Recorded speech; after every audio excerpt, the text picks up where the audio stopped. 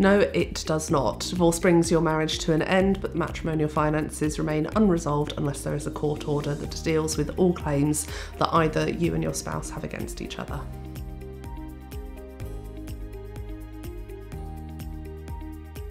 So the court can make orders that deal with your income, dealing with child maintenance or spousal maintenance. The court can also make orders about your capital assets.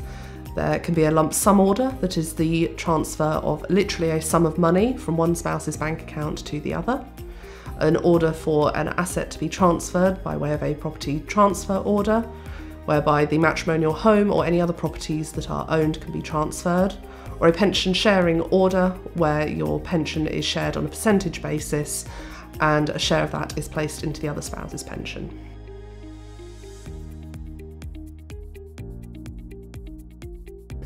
No, you don't. You can reach an agreement with your spouse about the matrimonial finances and have this turned into a consent order, a court order made with the parties' consent, that will be binding upon both of you once it has been approved and sealed by the judge.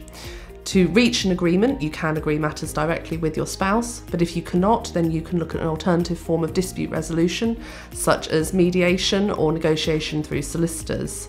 If you do not want to have your standard court proceedings, you could also look at arbitration to try and resolve your difficulties if the issue between the two of you is a narrow one.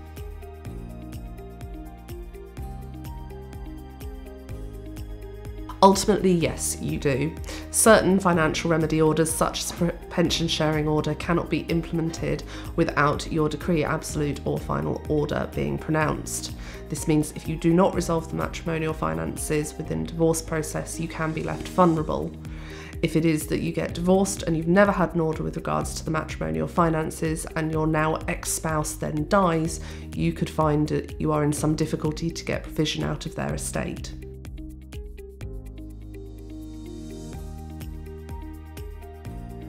Yes, you should still get an order that simply dismisses all claims that either of you have against the other. This is called a clean break consent order.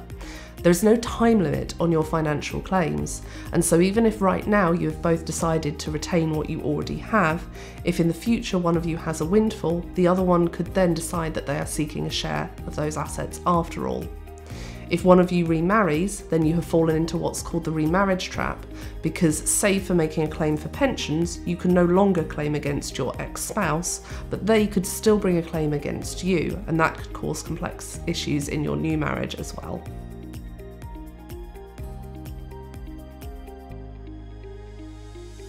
Ultimately, if you cannot agree, then one of you will need to make an application to the court so that the judge can make a decision about how the finances should be dealt with.